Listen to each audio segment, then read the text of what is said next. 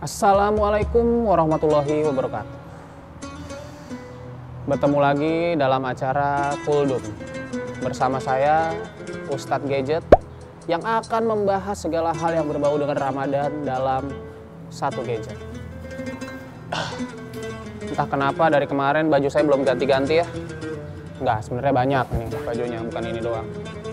Jadi kali ini mari kita membahas mengenai hal-hal apa saja yang bisa membuat puasa kamu sia-sia. Sebenarnya agar puasa kamu tidak sia-sia itu gampang.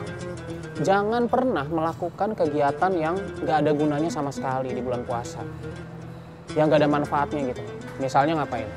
Misalnya membrowsing nomor telepon telepon umum. Nah, itu nggak ada gunanya. Ngapain gitu kan? Ya, semoga bermanfaat. Saran dari saya untuk kehidupan kalian di masa yang akan datang.